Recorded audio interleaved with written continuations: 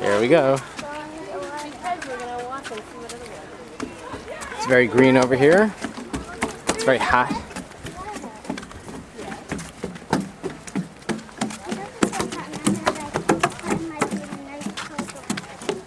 Are you sure we're going the right direction for the hike? Uh huh.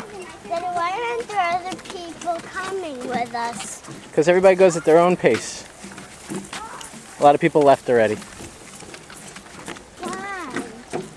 Well, a lot of people come early in the morning so they don't go during the height of the heat of the day like we are.